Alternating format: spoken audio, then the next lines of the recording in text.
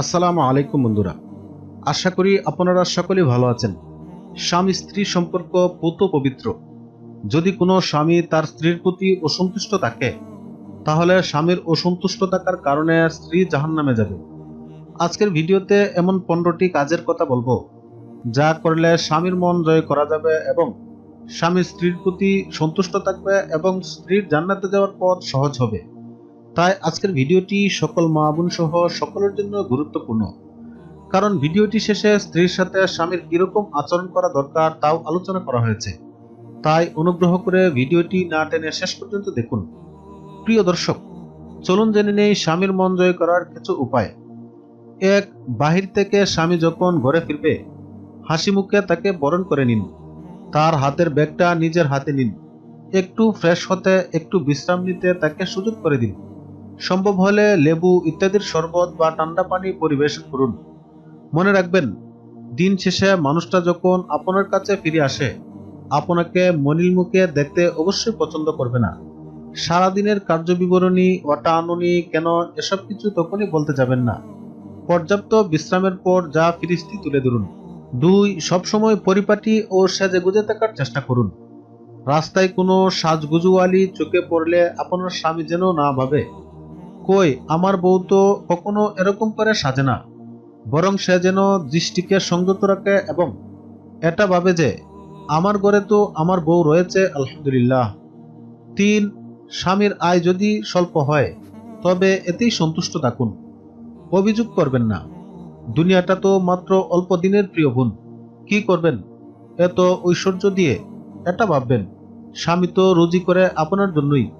ইচ্ছা করে কোনো স্বামী বউকে বাদ কাপড়ের কষ্টে রাখতে চায় না। চার, বাপের বাড়িতে বা বান্ধবীদের কাছে সবসময় স্বামীর ভালোটা বলবেন। কখনো গিবত করবেন না।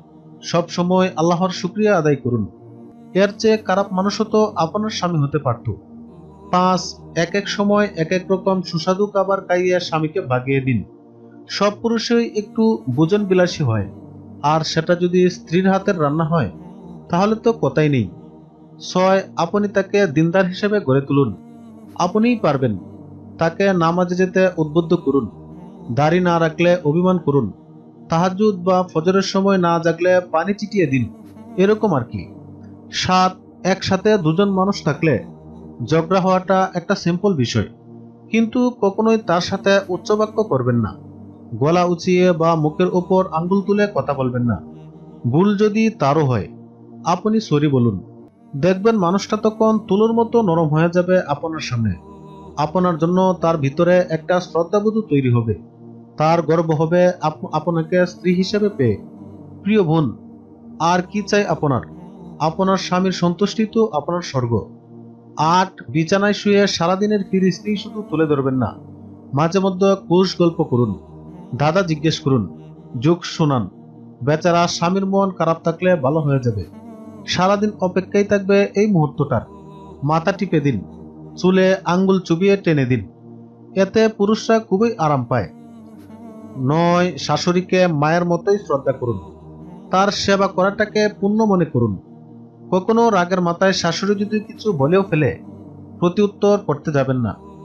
কখনোই শাশুড়ির বিরুদ্ধে স্বামীকে কান পড়া দিবেন না।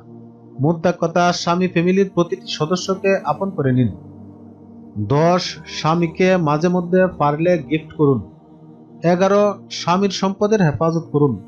কখনোই কোনো কিছুর অপচয় করবেন না।